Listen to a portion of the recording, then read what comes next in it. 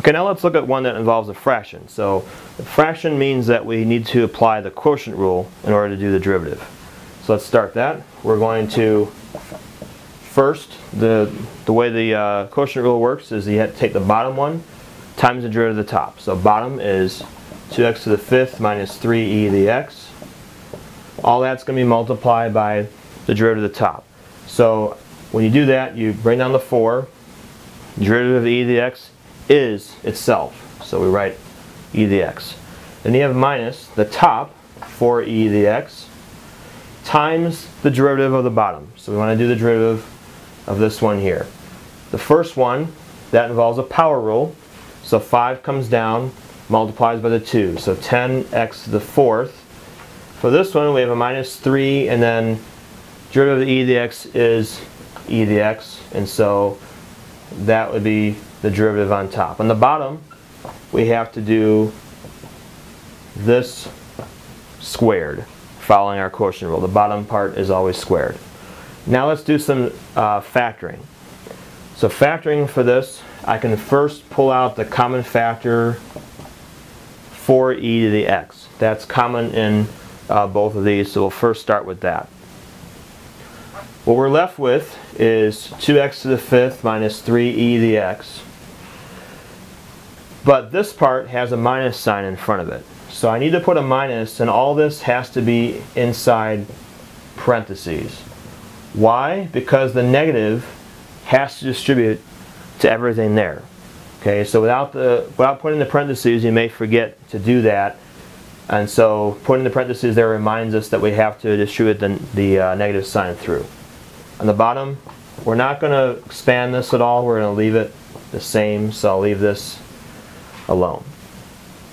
Now that we have it factored, what we want to do is simplify the terms on the inside. So once you have the parentheses there, what I'm going to do instead of rewriting the step again, I'm just going to go ahead and distribute the minus sign through. The parentheses reminding me that I have to do that. So I'm just going to remove the parentheses. This will be a plus because again you're distributing the negative to each thing on the inside and you get this. So now we want to combine the part inside the parentheses. What I notice is these 3e to the x's, those are both going to cancel and then we're left with 4e to the x on the outside.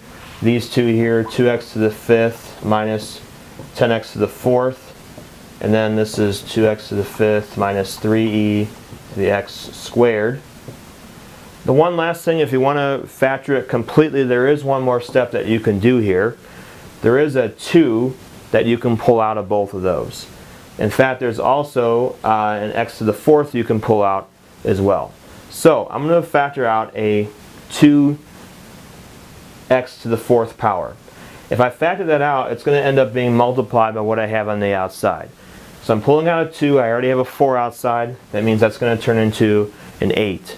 And then I'm going to put an x to the fourth on the outside also, and then I still have the e to the x. What's left on the inside? All right, I took out the 2 and I took out 4 of the x's. That's going to leave you with 1x left over.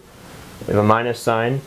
And then here I took out a 2, which means that's going to be a 5, and the x to the fourth is gone also.